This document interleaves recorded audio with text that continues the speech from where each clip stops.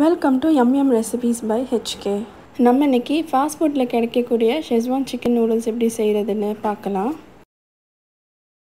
இதுக்கு நான் ஒரு கேரட் ரெண்டு கப்பு முட்டைக்கோஸ் ஒரு கப் பீன்ஸ் ரெண்டு மீடியம் சைஸ் வெங்காயம் அப்புறம் எட்டுலேருந்து பத்து பல் பூண்டு ஒரு கைப்பிடி அளவு கொடமிளகா வெங்காயத்தலை ஒரு ரெண்டு பச்சை மிளகாய் செஸ்வான் சாஸ் அஞ்சு முட்டை அப்புறம் கால் கிலோ போன்லெஸ் சிக்கனை சிக்கன் சிக்ஸ்டி ஃபைவ் மாதிரி பொரித்து அதை பிச்சு எடுத்து வச்சுருக்கேன்.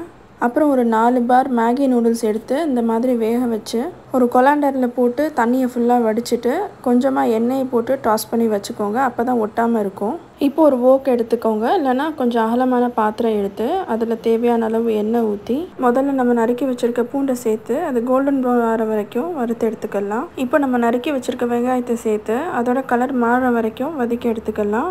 இப்போ நம்ம நறுக்கி வச்சுருக்கிற எல்லா காய்கறியும் சேர்த்து முக்கால்வாசி வேகிற வரைக்கும் குக் பண்ணி எடுத்துக்கலாம்.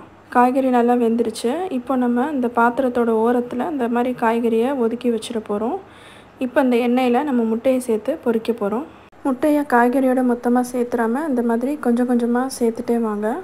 இப்போ நல்லா ஃப்ரை ஆயிடுச்சு இப்போ நம்ம green chili sauce ketchup schezwan sauce அப்புறம் சிக்கன் சிக்ஸ்டி ஃபைவ் இதெல்லாம் சேர்த்து நல்லா கலந்து விட்டுக்கலாம்.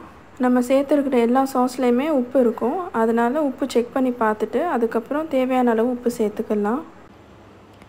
இப்போ நம்ம காரத்துக்கு ஏற்ற மாதிரி பெப்பர் சேர்த்துக்கலாம். இதோட இதுக்கு தேவையான அளவு உப்பு. அப்புறம் நறுக்கி வச்சுருக்கிற குடமிளகாய் சேர்த்து நல்லா டாஸ் பண்ணி எடுத்துக்கலாம்.